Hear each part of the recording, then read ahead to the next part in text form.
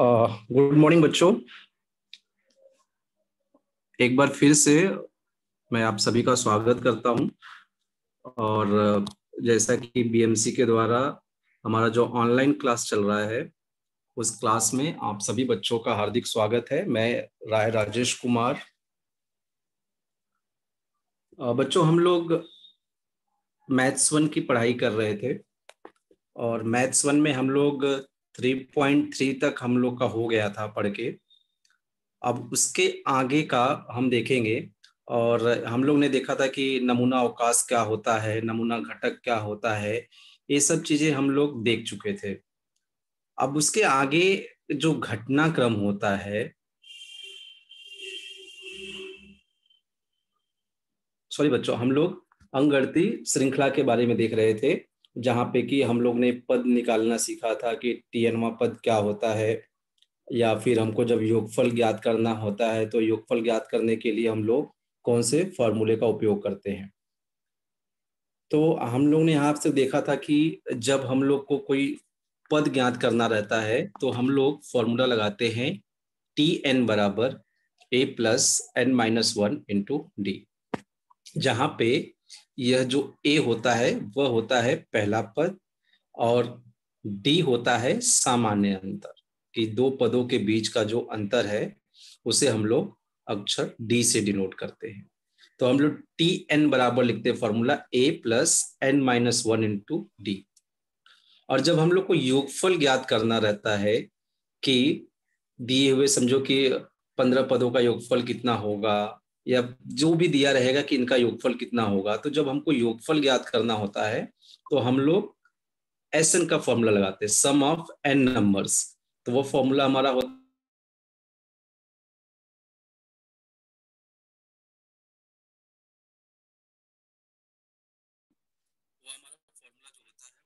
है S N बराबर N by two two A plus N minus one into D. तो ये दो फॉर्मूले हम लोग ने देख चुके थे बच्चों। अब हम लोग इसमें देखेंगे कि इस फॉर्मूले का उपयोग जो है, यह किस तरह से हम सवाल सॉल्व करने में लगाते हैं। तो अंगणित श्रृंखला का जो उपयोजन है, वह इस चैप्टर में 3.4 के अंदर दिया हुआ है। और 3.4 में हम लोग देखेंगे कि कैसे इन दोनों फॉर्मूले के आधार पे, इन दोनों सूत्र के आधार पे हम लोग सवाल को सॉल्व करते हैं।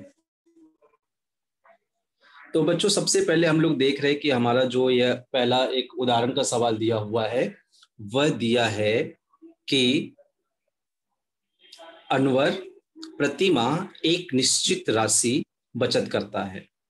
पहले महीने वह दो सौ रुपए की बचत करता है, दूसरे महीने ढाई सौ रुपए की बचत करता है और तीसरे महीने तीन सौ रुपए की बचत करता है। तो इस क्रम में एक हज़ार रुपए की मासिक बचत कौन से महीने में होगी? उस महीने तक की कुल बचत कितनी होगी? सबसे पहले बच्चों, आपको यह सवाल जो लिखा हुआ है, उसको समझना बहुत ज़रूरी है। उस सवाल में दिया क्या चीज़ है और पूछा क्या है? जब हमको यह मालूम होगा कि सवाल में क्या दिया है और क्या पूछा है तो हमको सवाल लगाने में बहुत ही आसानी होगी। तो हम लोग यहाँ देख रहे हैं कि जो अनवर है, वह हर महीने एक निश्चित राशि की बचत करता है। पहले महीने दिया है 200 दूसरे महीने दिया है 250 और तीसरे महीने दिया है 300 तो हम लोग एक देख रहे हैं कि यहाँ पे पचास रुपए का अंतर चल रहा है मतलब हर महीने पचास रुपए पचास रुपए बढ़ रहा है। तो हम देखते हैं यहाँ पे कि वह पहले महीने कर रहा है दो सौ रुपए की बचत, दूसरे महीने कर रहा है ढाई सौ की बचत। तो इस प्रकार हमारा जो श्रृंखला प्राप्त होता है, वह श्रृंखला होता है दो सौ, ढाई सौ, तीन सौ। तो यह एक अंगणित श्रृंखला है। अंगणित श्रृंखला इसलिए कि इसका जो सामान्य अंतर है, वह कॉमन है मतलब कि स्थिर है, अचर है, पचास पचास पचास का डिफरेंस दिख रहा है। तो यहाँ पे हम देखते हैं ए बराबर 200 पहला पद वह दिया हुआ है 200 और डिफरेंस जो सामान्य अंतर है वह हमारा होगा 50 और इसमें दिया है कि टीएन मतलब कि एक हज़ार रुपए वो कौन से महीने में बचत करेगा? तो हमारा जो लास्ट का पद है अर्थात टीएनवा पद है वो दिया हुआ है कि वो है एक हज़ार। अब आप हाँ, यहाँ पे हमको फाइंड आउट करना है एन एन मतलब कि कितने महीने के बाद वह एक हज़ार रुपए बचत करेगा? तो जब यन या टीएन से संबंधित सवाल पूछे तो हम लोग को तो इसमें दो ही फॉर्मूला पे काम करना है। एक हमारा है फॉर्मूला टीएन और दूसरा हमारा फॉर्मूला है एस एन का।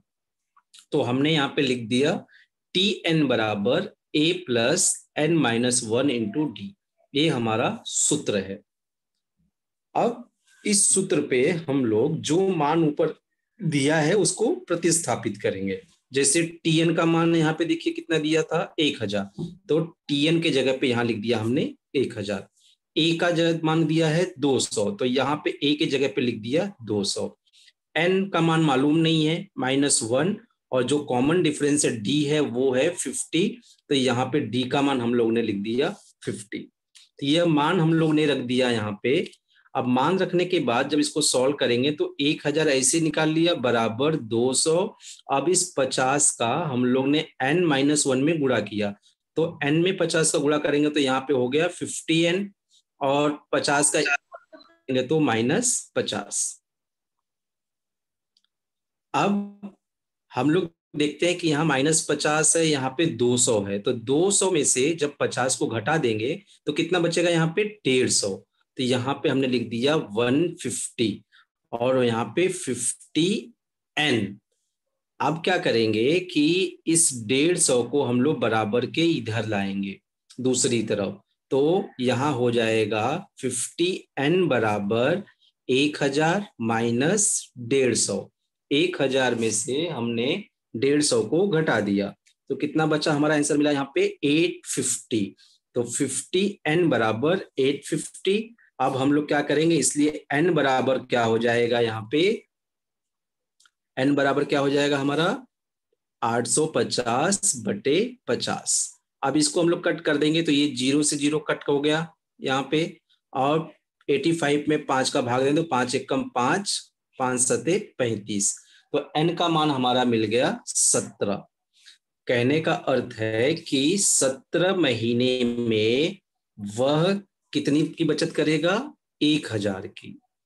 अब इसमें दूसरा जो पूछा हुआ था कि कुल कितनी बचत करेगा? अब कुल बचत ज्ञात करने के लिए हम लोग को एस एन का फॉर्मूला लगाना पड़ेगा। आपको यहाँ पे ध्यान देना है कि टीएन का फॉर्मूला कब लगाते हैं और एस एन का फॉर्मूला कब लगाते हैं? एस एन का अर्थ होता है जब योगफल पूछा रहेगा जब कुल पूछा कुल वर्ड आएगा योगफल आएगा तब हम लोग एसन का फॉर्मूला लगाएँगे। और जब कौन सा पद ज्ञात करना है या कौन से महीने में होगा तो हम लोग टीएन का फॉर्मूला लगाएँगे। तो अब हम लोग देखेंगे कि सत्रह महीने में वह कुल कितनी बचत करेगा। तो सत्रह महीने में कितनी बचत करेगा वह हम देखने के लिए हम लोग फॉर्मूला लगाएँगे एस एन बराबर एन बटे दो two A plus N minus one into D अब यहाँ पे हम मान रख देंगे एन का मान हमारा सत्रह है, क्योंकि सत्रह महीने हैं तो यहाँ पे एस सेवनटीन एन के जगह पे हम लोग लिख दिया सत्रह बटे दो, ब्रैकेट में टू ए यहाँ पे टू ए है। तो टू और ए का मान हमारा कितना था? दो सौ। तो दो गुड़े दो सौ प्लस एन का मान सत्रह माइनस एक और गुड़े डी है तो डी का मान फिफ्टी अब यहाँ पे हम लोग देखते हैं आगे कि सत्रह बटे दो, अब दो सौ में दो का गुणा किए चार सौ, सोलह में, सत्रह में से एक गया सोलह, और गुड़े पचास करेंगे। तो सोलह गुड़े पचास करेंगे तो हम लोग देखते हैं कि सोलह गुड़े पचास करने पे मिलता है हमको आठ सौ, और ये यहाँ पे चार सौ ऐसे था, और सत्रह बटे दो। आठ सौ और चार सौ को हमने क्या किया? जोड़ दिया। तो हो गया यहाँ पे सत्रह बटे दो ऐसी ही है, ये हो गया बारह सौ। और दो का भाग हम लोग यहाँ पे इसको कट कर दिए, दो उसका इसमें भाग दे दिए तो कितना आ जाएगा? छ सौ। तो सत्रह गुड़े छ सौ यहाँ पे किए तो सत्रह गुड़े छ सौ करेंगे तो हमको जो आंसर मिलता है, वह मिलता है दस हज़ार दो सौ। तो जो सवाल में हमको पूछा था इसमें कि एक हज़ार की बचत कम करेगा तो सत्रहवें महीने में वह एक हज़ार रुपए की बचत करेगा, और कुल सत्रह महीने में कुल कितनी बचत करेगा? तो कुल बचत करेगा वो दस हज़ार दो सौ रुपए। तो जो इसमें आपको यह समझना है कि सवाल में क्या दिया है और सवाल में क्या चीज़ पूछा है। अगर सवाल में कितने महीने में होगा या कौन सा पद होगा, तब हम लोग टीएन का फॉर्मूला लगाएँगे और कितना योगफल होगा, कुल कमाई कितनी होगी, जब यह कुल वर्ड आएगा तो हम लोग एस एन का फॉर्मूला लगाएँगे। एक और उदाहरण लेते हैं बच्चों, एक और उदाहरण देखते हैं, फिर हम सवाल पे आएँगे। तो यहाँ पे हम लोग जैसे कि देख रहे हैं कि दूसरा एक उदाहरण है, यहाँ लिखा हुआ है कि श्रीमती से को वर्ष 2015 में एक लाख अस्सी हज़ार रुपए वार्षिक वेतन वाली नौकरी मिली। कार्यालय ने उन्हें प्रति वर्ष दस हज़ार रुपए की वृद्धि देना तय किया। तो कितने वर्षों के बाद उनका वार्षिक वेतन दो लाख पचास हज़ार रुपए होगा? अब सबसे पहले आपको इस सवाल में समझना है कि क्या दिया है और क्या पूछा है। हम लोग देखते हैं कि यहाँ पे ना योगफल पूछा है, ना कुल वर्ड दिया है, ऐसा कोई भी चीज़ नहीं दिया है। इसमें यह दिया है कि उनकी जो शुरुआती पेमेंट थी, जो नौकरी थी, वार्षिक थी, वह कितने की थी? एक लाख अस्सी हज़ार। और हर साल के बाद दस हज़ार रुपए की वृद्धि मतलब कि उनको इंक्रीमेंट मिलते रहेगा। तो कितने वर्ष के बाद अभी वर्ष कितने वर्ष, कितने महीने तो वहाँ पे हम लोग किसका फॉर्मूला लगाएँगे? टी एन का फॉर्मूला कहने का मतलब यहाँ हमको एन का मान ज्ञात करना है। तो जैसा कि सारणी में यहाँ पे आप देख रहे होगे कि पहला वर्ष था तो उनको कितनी पेमेंट मिल रही थी पहले वर्ष में? एक लाख अस्सी हज़ार। अब 2016 जब ईयर आएगा तो उसमें एक लाख अस्सी हज़ार उनकी पेमेंट और दस हज़ार की क्या है? वृद्धि है। तो एक लाख अस्सी हज़ार प्लस दस हज़ार को जोड़ देंगे। ऐसी तीसरा महीना आएगा, जब तीसरा साल आएगा 2017 का तो यहाँ पे एक अस्सी, दस, एक नब्बे हो जाएगा। एक नब्बे में प्लस दस और जोड़ देंगे तो दो लाख हो जाएगा। तो ऐसे करते करते ढाई लाख, दो लाख पचास हज़ार रुपए कब होगा? तो हम लोग क्या करेंगे? अब यहाँ पे फॉर्मूला का उपयोग करके इसको ज्ञात करेंगे। तो बच्चों, यहाँ पे देखो, जैसे कि दिया हुआ है ए का मान दिया है एक लाख अस्सी हज़ार। ए का मान का अर्थ होता है कि जो पहला चीज़ दी रहती है, जहाँ से शुरुआत होती है, वह हमारा होता है ए तो ए का मान आ गया एक लाख अस्सी हज़ार। और हर महीने की वृद्धि हो रही है। अर्थात डी का मान दस हज़ार रुपए और दिया है ढाई लाख टीएन का मान मतलब कि हमको वर्ष पता नहीं कि कौन से वर्ष में होगा, लेकिन जो लास्ट टीएन का है, वह ढाई लाख दिया, इसलिए हम लोग यहाँ पे लिख दिया टीएन बराबर ढाई लाख। अब एन का मान हमको फाइंड आउट करना है कि कितने वर्ष के बाद ये ढाई लाख रुपए पेमेंट होगा। अब यहाँ पे हम लोग फॉर्मूला कौन सा लगाएँगे? टी एन बराबर A plus N minus one into D यह सूत्र लगाएँगे। अब हम लोग देखते हैं कि यहाँ पे टीएन का मान दिया हुआ है ढाई लाख रुपए। तो हमने टीएन के जगह पर रख दिया ढाई लाख, दो लाख पचास हज़ार। ए का मान क्या दिया हुआ है? एक लाख अस्सी हज़ार। तो यहाँ ए का मान रख दिए। एन का मान फाइंड आउट करना है। एन माइनस वन और डी का मान दिया है हमारा दस हज़ार। अब हम लोग क्या करेंगे कि इस जो एक लाख अस्सी हज़ार है, इसको बराबर के इधर लेके आएँगे तो बराबर के जब दूसरी साइड लाते हैं तो क्या हो जाएगा? घटाना। तो दो लाख पचास हज़ार में से एक लाख अस्सी हज़ार को घटा दिए। और यहाँ पे क्या बच गया था? एन माइनस वन गुड़े दस हज़ार। तो यह एन माइनस वन गुड़े दस हज़ार यहाँ पे रखे और ढाई लाख, दो लाख पचास हज़ार में से एक लाख अस्सी हज़ार को घटा दिया। तो जब इसमें से इसको हम लोग घटाएँगे तो हमको मिलेगा सत्तर हज़ार रुपए।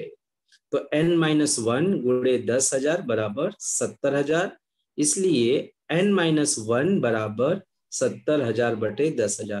तो जब हम लोग भाग देंगे तो सारा ज़ीरो कट जाएगा, क्या बचेगा? सेवन। तो एन माइनस वन बराबर सेवन।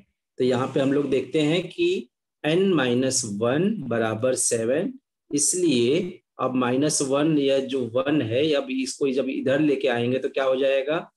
प्लस हो जाएगा। इसलिए एन बराबर सेवन प्लस वन। बराबर कितना आ गया हमारा? आठ।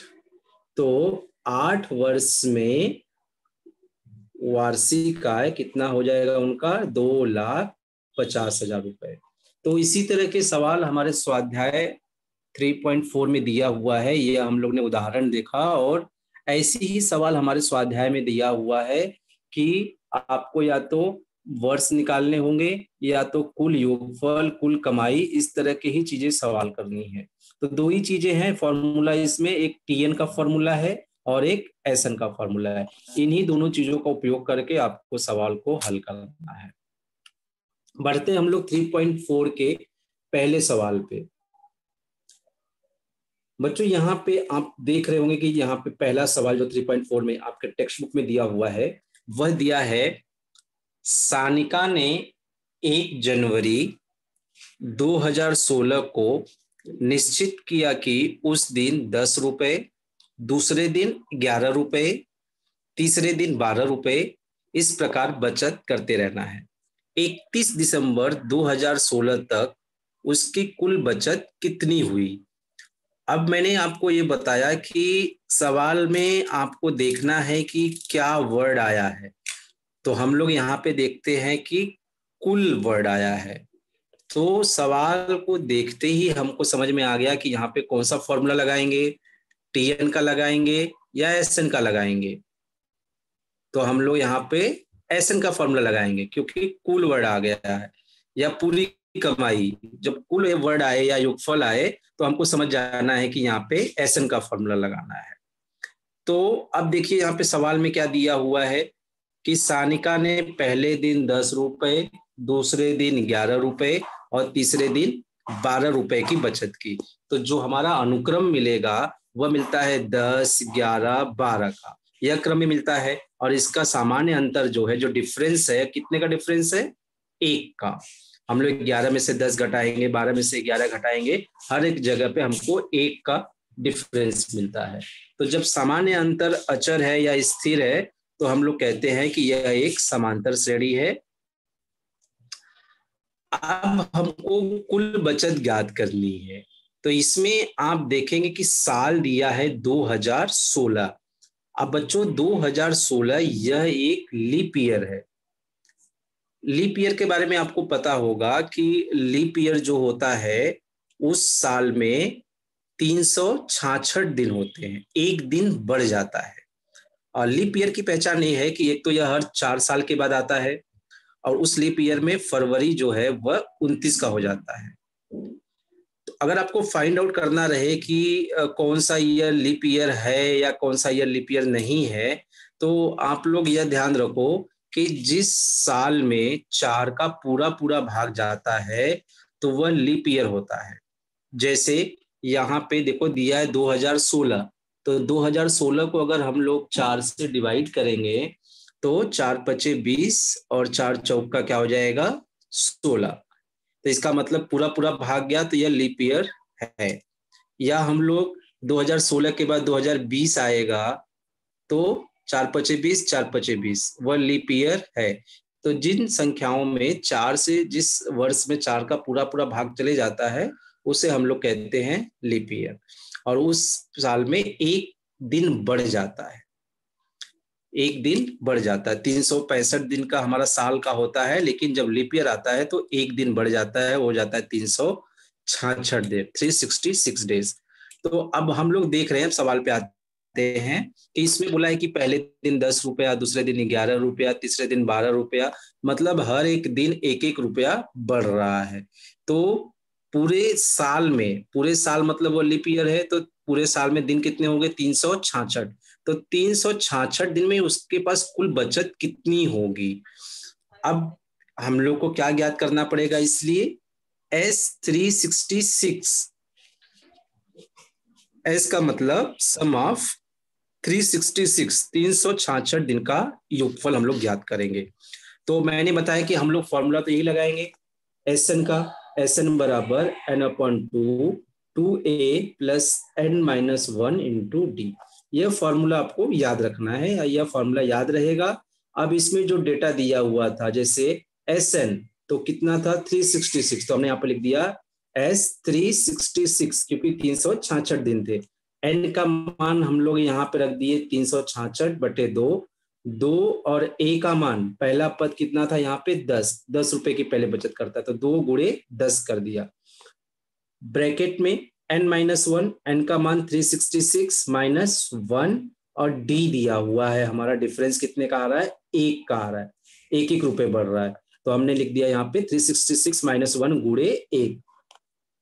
अब इसको हम लोग ने दो से कट कर दिया। यहाँ पे इसको दो से कट कर दिया। तो क्या दिया हुआ था?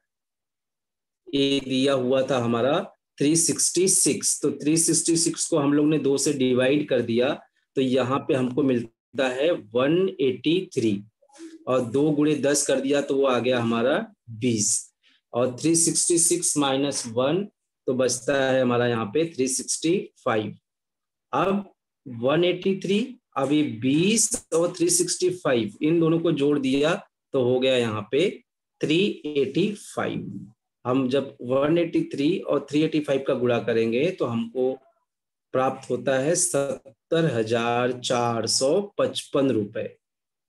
तो जो सानिका की कुल कमाई थी, वह थी सत्तर हज़ार चार सौ पचपन रुपए की। ठीक है? बोलो, कौन बोल रहा था? ठीक है, सर। ठीक है। हम लोग प्रश्न उत्तर लेंगे आगे। पहले हम लोग सवाल समझ लेते हैं, फिर जिसको जहाँ डाउट रहेगा, हम लोग उसको वापस से ले लेंगे।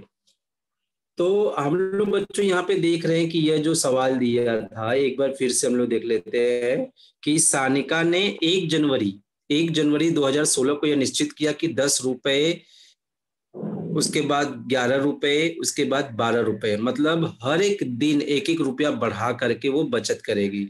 तो पहले दिन दस रुपए था, इसलिए हम लोग ने ए का मान दस लिया।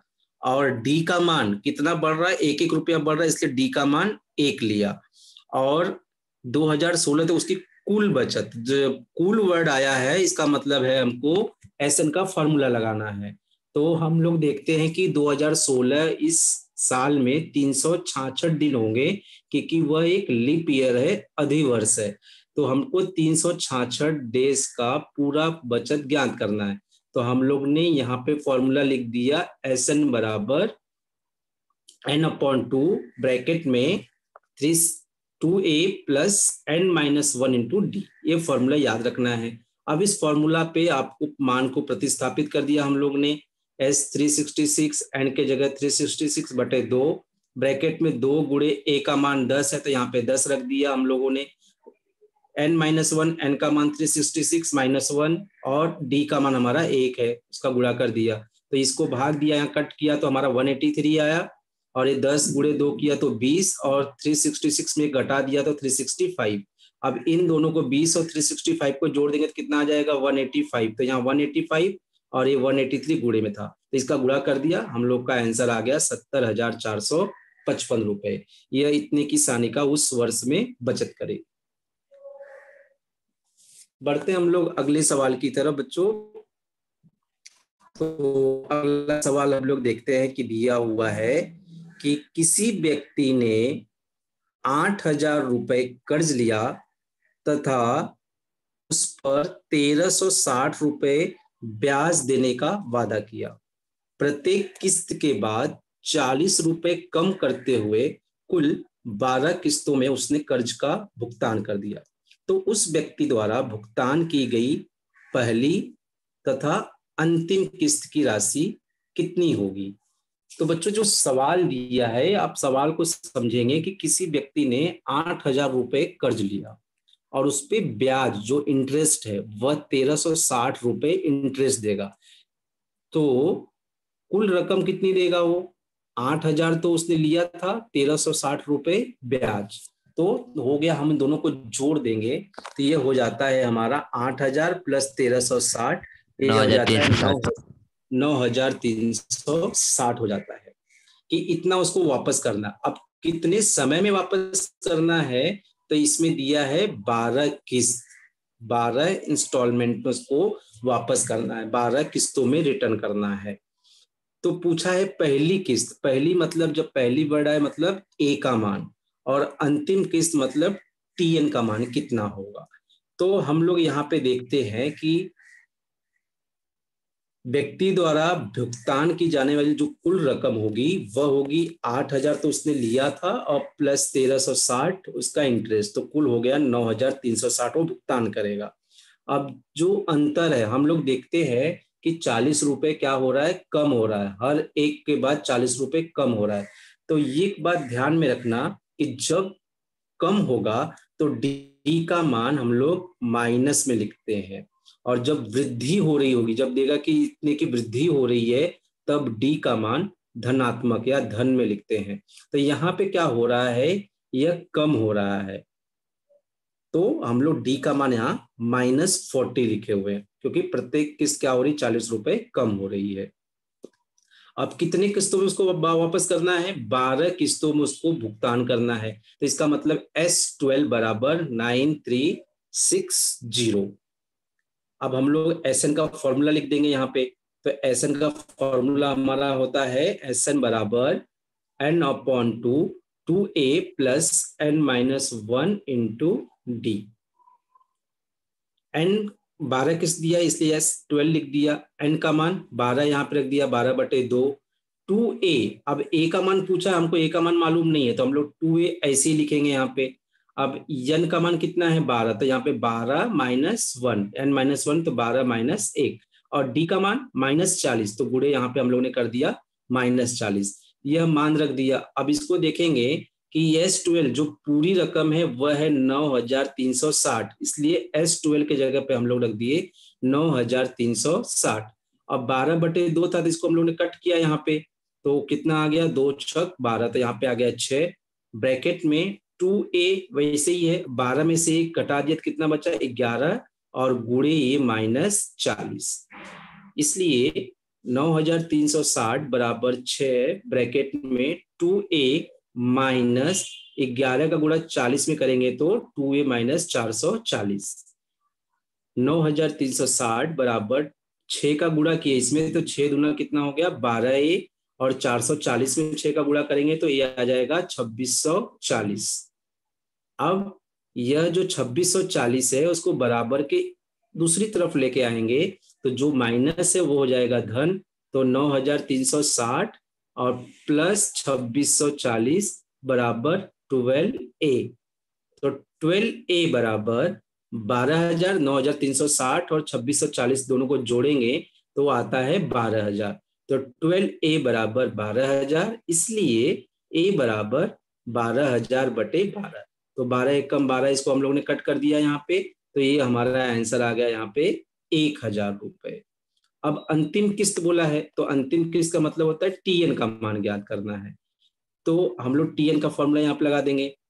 टी एन बराबर A plus N minus one into D ये हम लोगों ने यहाँ पे इसका फॉर्मूला लिख दिया। अब टी एन का मान तो हमको ज्ञात करना है तो टी एन अब कितना है? बारह। तो टी ट्वेल्व बराबर ए का मान हम लोगों ने निकाला यहाँ पे पहली किस्त एक हज़ार तो उसकी जगह पर रख दिया एक हज़ार। एन का मान बारह है, हमको पता है तो बारह माइनस एक और डी का मान कितना है, माइनस चालीस। तो टी ट्वेल्व बराबर एक हज़ार ऐसे उतार दिया यहाँ पे, बारह में से गया, ग्यारह गुड़े माइनस चालीस। अब ग्यारह में चालीस का गुड़ा किए तो यहाँ पे आ गया चार सौ चालीस। एक हज़ार में से चार सौ चालीस को माइनस करेंगे तो हमको मिलेगा पाँच सौ साठ। तो ये पाँच सौ साठ यह अंतिम किस्त थी उसको देने के लिए। और पहली किस्त क्या मिली थी हमको? एक हज़ार रुपए की पहली किस्त थी एक हज़ार रुपए। तो बच्चों, ये सवाल को हमने देखा कि इस सवाल में जो दिया हुआ था, इसमें दिया था कि किसी व्यक्ति ने आठ हज़ार रुपए कर्ज लिया और तेरह सौ साठ उस पर ब्याज दिया। तो हम लोग ने कर्ज और उसके ब्याज दोनों को जोड़ दिया तो वह कितना आ गया? नौ हज़ार तीन सौ साठ आ गया यहाँ पे, नौ हज़ार तीन सौ साठ। उसके बाद क्या किया? डी का जो मान दिया है, उसका मान हमने ऋणात्मक, ऋण चालीस लिखा। ऋण किस लिए? क्योंकि प्रत्येक व्यवहार में चालीस रुपए वो कम हो रहा है। तो जब कम होता है तो माइनस लिखते हैं, और जब वृद्धि रहेगा तो प्लस लिखेंगे। तो हमने डी का मान यहाँ पे लिख दिया, इसलिए माइनस चालीस। अब उसके बाद बारह किस्त में वो कितनी भुगतान करेगा? तो इसलिए हमने यहाँ पे लिख दिया कि बारह किस्त टोटल नौ हज़ार तीन सौ साठ रुपए भुगतान करेगा। तो हमने यहाँ पे एस एन बराबर N upon two two A plus N minus one D का फॉर्मूला लगाया। अब इस फॉर्मूले पे जो भी मान हमारे दिए थे एन का मान बारह था डी का मान माइनस चालीस था, और ए का मान पता नहीं था तो यहाँ से हम लोग ने ए का मान ज्ञात किया, और वही ए का मान जो है, वह पहली किस्त थी। और अंतिम किस्त ज्ञात करने के लिए हम लोग ने टी एन का फॉर्मूला लगाया। टी एन बराबर A plus N minus one into D तो इस फॉर्मूला को रख करके हम लोग ने अंतिम किस्त निकाल लिया। अगले सवाल की तरफ़ बढ़ते बच्चों। तीसरा सवाल दिया हुआ है। इस सवाल में दिया है कि सचिन द्वारा राष्ट्रीय बचत प्रमाण पत्र में पहले वर्ष पाँच हज़ार रुपए, दूसरे वर्ष सात हज़ार रुपये तीसरे वर्ष नौ हज़ार रुपए इस प्रकार निवेश किया गया तो सचिन ने बारह वर्षों में कुल कितना निवेश किया? तो अब अब यहाँ पे सवाल देखो कि दिया हुआ है कि उसने पहले वर्ष पाँच हज़ार, दूसरे वर्ष सात हज़ार, तीसरे वर्ष नौ हज़ार, ऐसे निवेश किया। तो बारह वर्ष में कुल कितना निवेश किया? अब इसमें आपने क्या पहचाना? कौन सा वर्ड पहचाना? कुल। तो जब मैंने बताया कि कुल वर्ड आएगा या योगफल आएगा तो कौन सा फॉर्मूला लगाएँगे? एस एन एस एन का लगाएँगे वेरी गुड तो अब हम लोग यहाँ पे पहले डेटा लिखेंगे कि इसमें सवाल में दिया क्या चीज़ है और उसके बाद फॉर्मूला लगा करके हम लोग सॉल्व करेंगे। तो इस सवाल में दिया है कि पाँच हज़ार, सात हज़ार, नौ हज़ार, यह अनुक्रम प्राप्त होता है। तो कितने का डिफरेंस चल रहा है हम लोग डिफरेंस निकाल लेंगे। तो सात हज़ार माइनस पाँच हज़ार बराबर नौ हज़ार माइनस सात हज़ार, दूसरे पद में से पहले पद को घटाए। तो हम लोग देख रहे हैं कि दो हज़ार का अंतर है डिफरेंस तो यह डी का मान हो गया हमारा दो हज़ार रुपए। अब हर एक पद का अंतर जो है, वह दो हज़ार का है। नौ हज़ार में से सात हज़ार घटाया दो हज़ार, सात हज़ार में से पाँच हज़ार घटाया दो हज़ार। तो वह अंतर अचर है, स्थिर है, इसलिए यह एक समांतर श्रेणी है। अब यहाँ पे हम लोग देखते हैं कि ए का मान, जो पहला पद रहता है, वही हमारा ए का मान रहता है। तो यहाँ पे ए का मान दिया हुआ है फाइव थाउज़ेंड और एन का मान दिया है ट्वेल्व बारह दिया हुआ है एन का मान. अब बारह वर्षों में किया गया निवेश का अर्थ है कि हमको एस ट्वेल्व का मान ज्ञात करना है। तो जब हमको एस ट्वेल्व का मान ज्ञात करना है तो हम लोग यहाँ पे फॉर्मूला लिखेंगे एस एन बराबर N upon two two A plus N minus one into D अब जो जो चीज़ें यहाँ पे दी है इस फॉर्मूला पे, सिर्फ़ मान रख देना है। जैसे एस एन का मान कितना था? बारह। तो यहाँ पे हम लोग लिख दिया एस ट्वेल्व एन का मान बारह। तो यहाँ बारह बटे दो। टू ए ए का पहला पद हम लोग देख रहे कितना है? फाइव थाउज़ेंड तो दो गुड़े पाँच हज़ार। ए का मान रख दिया। Plus N minus one N का मान बारह है। माइनस वन बारह माइनस वन और डी का मान यहाँ पे हम लोग को दिया है टू थाउज़ेंड दो हज़ार रुपए तो हमने यहाँ पे दो का मान डी का मान दो हज़ार रख दिया। अब ब्रैकेट को हम लोग सॉल्व करेंगे यहाँ पे। तो सॉल्व करें तो यहाँ पे हम लोग देख रहे हैं कि बारह बटे दो दिया है तो इसको हम लोग कट कर देंगे दो से। तो कितना आ जाएगा? छ तो यहाँ पे हमने लिख दिया छ अब दो गुड़े पाँच हज़ार करेंगे तो कितना हो जाएगा? दस हज़ार। तो यहाँ लिख दिया दस हज़ार। अब बारह में से एक गया ग्यारह। और ग्यारह गुड़े दो करेंगे तो ग्यारह दुना कितना हो जाता है? बाईस हज़ार। तो यहाँ पे छ ब्रैकेट में दस हज़ार प्लस बाईस हज़ार, दोनों को जब जोड़ देंगे दस हज़ार और बाईस हज़ार को तो यह मिल जाता है हमको यहाँ पे बत्तीस हज़ार रुपए और गुड़े इसका छ तो छह गुड़े बत्तीस हज़ार करेंगे तो हमको उत्तर प्राप्त होता है एक लाख बानवे हज़ार। तो सचिन द्वारा 12 वर्षों में निवेश की गई कुल राशि होती है एक लाख बानवे हज़ार। तो बच्चों, यहाँ पे हमने तीन सवाल देखा, तीसरे सवाल में दिया था कि सचिन द्वारा राष्ट्रीय बचत प्राप्त में पहले वर्ष पाँच हज़ार, दूसरे वर्ष सात हज़ार, तीसरे वर्ष नौ हज़ार। इस प्रकार निवेश कर रहा है। तो हमारा जो अनुक्रम मिलेगा, अनुक्रम आप लोग क्या लिखेंगे? पाँच हज़ार, सात हज़ार, नौ हज़ार। ये अनुक्रम हो गया। अब इसका जो असामान्य अंतर है, जितने का डिफरेंस चल रहा है तो हम लोग देखते हैं पाँच हज़ार, सात हज़ार, नौ हज़ार तो दो हज़ार का डिफरेंस दिख रहा है। तो इसलिए हम लोग डी का मान लिख लेंगे, दो हज़ार रुपए। अब इसमें कुल कितना होगा? तो मैंने बोला है जब कुल वर्ड आएगा तो एस का फॉर्मूला लगाना है। तो हम लोग ने एस बराबर एस का फॉर्मूला लिख दिया कि एस बराबर एन अपॉन टू ब्रैकेट में two A plus N minus one into D अब सारे जितनी चीज़ों का दिया हुआ था, उसका मान रख देना है। एस एन एन का मान बारह था तो वहाँ पे एस बारह रख दिया। एन का मान बारह था तो वहाँ बारह रख दिया एन के जगह। टू ए ए का मान पहला पद पाँच था तो वहाँ पाँच हज़ार रख दिया।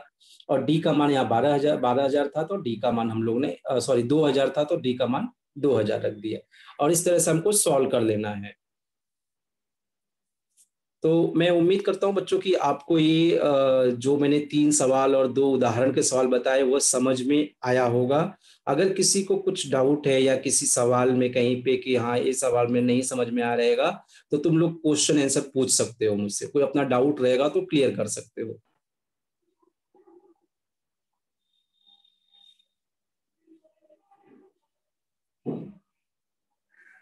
किसी को कोई डाउट है कुछ पूछना है कहीं पे कुछ दिमाग में है तो बोल सकते हो।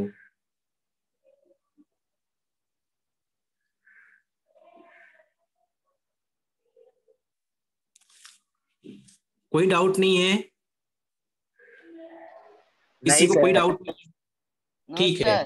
नहीं सर। मैंने यहाँ पे आ, कुछ प्रश्न होमवर्क के लिए दिया हुआ है अभ्यास कर के लिए। तो इसका स्क्रीनशॉट ले लो और इसको प्रैक्टिस करना या होमवर्क समझ के इसको सॉल्व करना है। तो मैं उम्मीद करता हूँ कि जो भी चीज़ें आज अभी हम लोग ने इस टॉपिक में देखा वह समझ में सबको आया होगा। सबको आया समझ में? यस सर यस सर तो जो सवाल मैंने दिया है उस सवाल को सभी को प्रैक्टिस करना है सभी को सॉल्व करना है और आ, कोई डाउट नहीं है अच्छी बात है। और उसके बाद नेक्स्ट लेक्चर में हम लोग मिलेंगे तो इसमें के चौथा पांचवा और छठा जो सवाल दिया है उस सवाल को सॉल्व करेंगे।